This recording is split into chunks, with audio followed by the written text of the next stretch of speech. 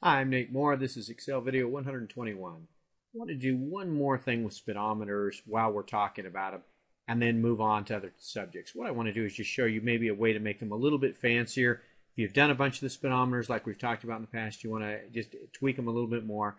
Notice how this speedometer has these labels around the outside going from 0 to 100 as opposed to putting low, medium, and high or low, normal, and high or whatever kind of labels inside this series like we had over here, what I've got here is I can put labels on the outside as well. The way to do that, you've got to do a couple of things. Notice what I what I have here is I have these labels where I said, all right, I've got 180 degrees that I'm going to hide, and then I want to go from 0 to 100. And what I do is I end up dividing the remaining 180 degrees by I put that uh, I put this 180 degrees that's left here.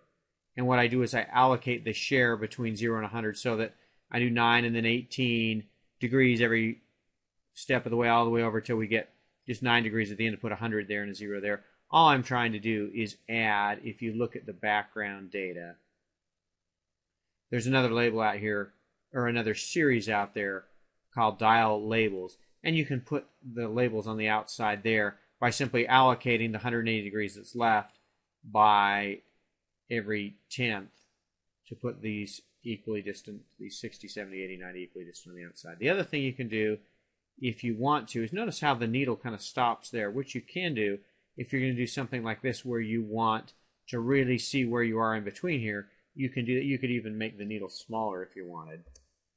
Uh, if you're going to make it go all the way through the speedometer, and you can really put it in between the numbers so it's really easy to see that that's 35 or that's 67 or whatever. You can make the needle go all the way through if that helps you.